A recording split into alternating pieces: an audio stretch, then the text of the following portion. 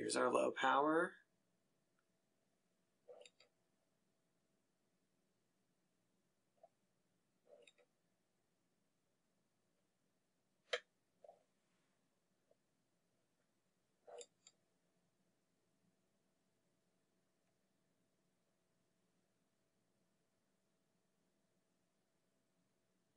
Okay, what do you think? I'm wondering about MF. I feel like there's some large, dark, kind of angulated lymphs up in the epi.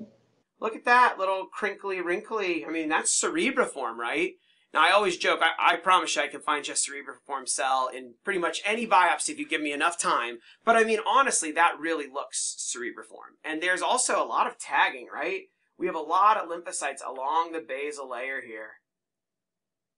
I mean, very concerning because they've got little halos around them.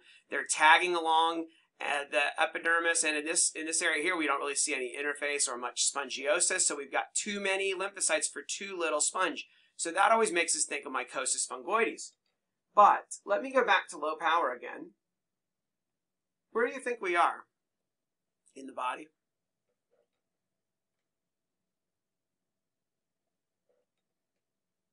What are these? Glands. Apocrine glands.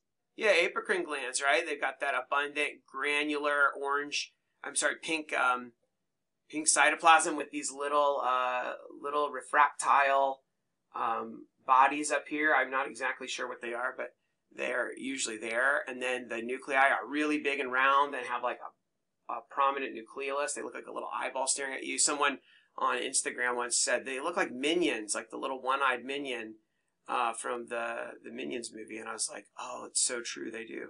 So I like that. So apocrine glands. So where? So there's that, and then what do we see in the dermis? Little smooth Breast muscle would be a bundles, lots of them.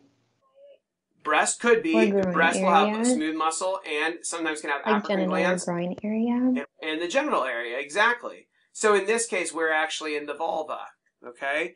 Uh, In the nipple, usually the muscle bundles are thicker and bigger, and in the vulva or scrotum, they usually are really small, but admittedly, that is a somewhat subjective uh, thing, but just, just to know. And also, I feel like usually apocrine glands are more abundant in the genitals, and whereas you, you can rarely see them around the nipple areola, but, um, so they can be in both places, but, um, yeah, this ended up being from the vulva, I believe.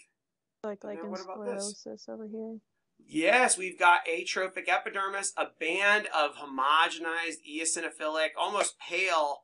So you can see that it's uh, collagen here. You can see the fibers when we flip the condenser, but it's it's kind of pale sclerotic. So sometimes that happens in lichen sclerosus. You get this band of sclerotic collagen, and sometimes it can get edema in there that makes it look really, really pale, almost white. And then below it, you've got a band of histiocytes that are kind of trickling between the collagen. You sometimes get this kind of, it almost looks a little like interstitial GA. So we, um, we wrote a paper about that a couple years ago. Sara Shalin and I and uh, colleagues, we wrote um, a paper about this kind of interstitial granulomatous pattern. This interstitial pattern that looks like interstitial GA that you see down under the sclerotic band in lichen sclerosus.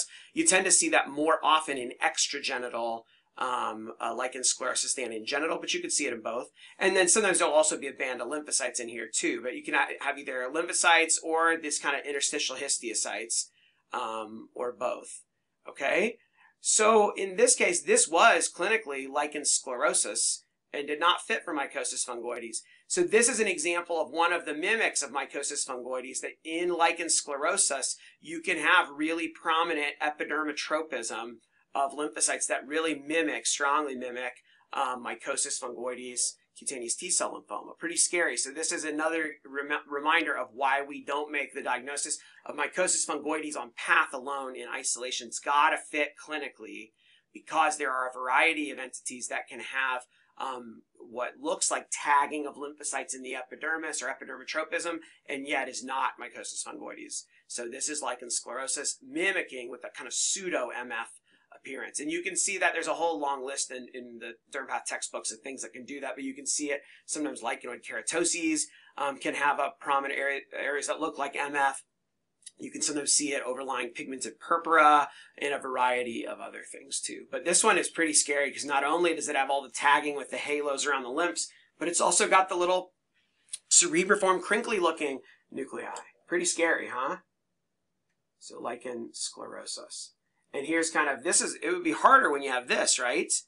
Because here you can't really see that homogenized collagen very well. You're beginning to see it right here, but in the earlier kind of inflammatory phase of lichen sclerosus, as it's just starting out, it starts as kind of usually as an interface dermatitis. This case is a little strange because it's got all these lymphs in the epidermis, but not really much in the way of vacuolar change or dying keratinocytes like you'd normally expect.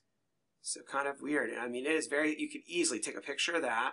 I'm sorry, I'm trying to, slides a little sticky on the back. And of course, there's a wrinkle right where I wanted to show you, but that's okay. I mean, you could take a picture of some of those cells and put that in a book and say, this is classic mycosis fungoides, right? Scary. All right. So, low power and clinical wins the day, lichen sclerosus, atrophic, if you like.